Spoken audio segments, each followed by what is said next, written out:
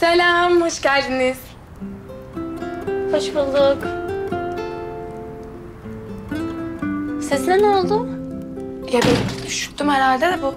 Yani ne giydiniz siz? Kıyafet. Tamam da Aybik'cim, pijama partisinin bir numaralı kuralı dress code'dur. Hiç sıkıntı yok. Ben her şeyi düşündüm, tahmin ettim böyle olacağını.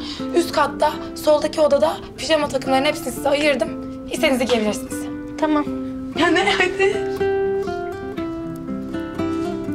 Soldaki oda.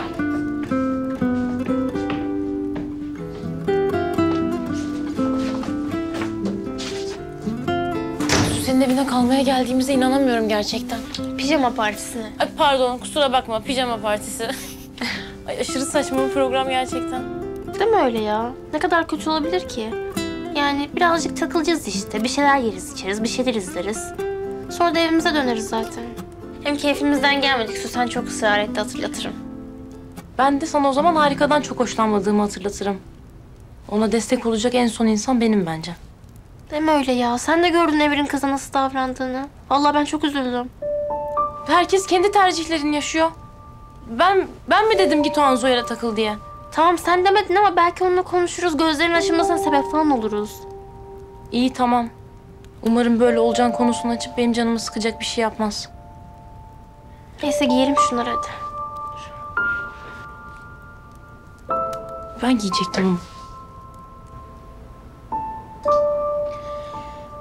Asiyeleri çağırdım diye bana bozulmadın değil mi? Yani öyle 40 yılın başı hep birlikte takılalım istedim. Yani bana çok garip geldi ama... Sonuçta senin evin. Sen nasıl istiyorsan öyle olsun.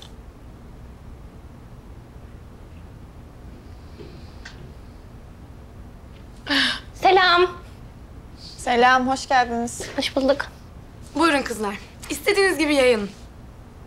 Ama şimdi siz gece kalmayacaksanız hemen bir filme başlayalım diyorum ben. Yoksa izleyemeyeceğiz. Hmm. Ne izleyelim? Korku mu yoksa romantik komedi mi? Bence romantik komedi de. Evet ya, komedi izleyelim. Emir bana hep kendi istediklerini izletiyor. Vallahi bayağıdır komedi izlemiyorum ben. Harika Emir sanki senin isteklerine pek ilgilenmiyor gibi. Yani senin ne istediğin onun pek umrunda değilmiş gibi değil mi? Yo. Gayet umrunda. İyiyiz biz. Yok bence öyle değil. Yani Emir çok kaba bir çocuk. Ya da sana öyle davranıyor bilmiyorum. Emir kapa falan değil ya. Aksine bana gayet nazik davranıyor yani. Siz yanlış anlamışsınız bence.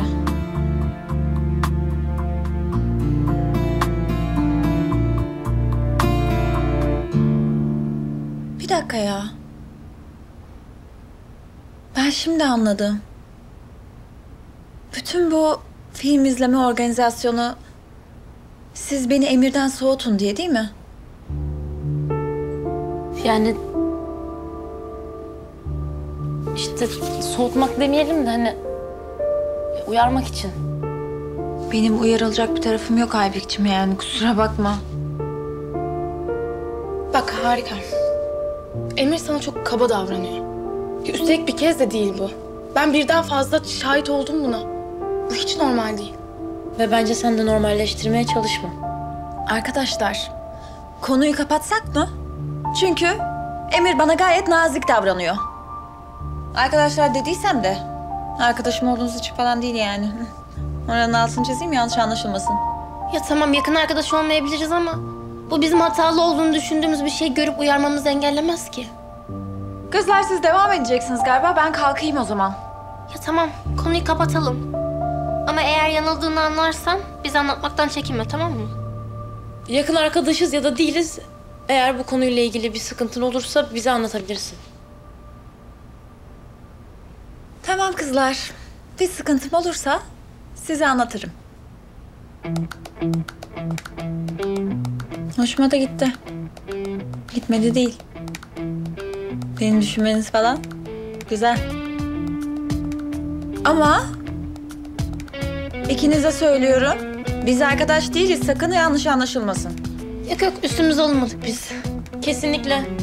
Arkadaşlar, yani ben bu sevgi dolu anı ölümsüzleştirmek istiyorum. Harika gel hemen.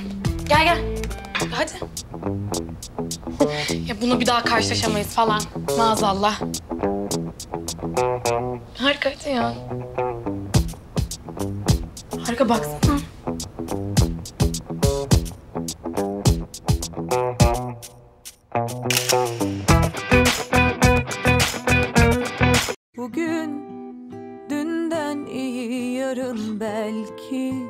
Gökyüzü sızacakmış küçük penceremden. Öyle yine de ışık aramakla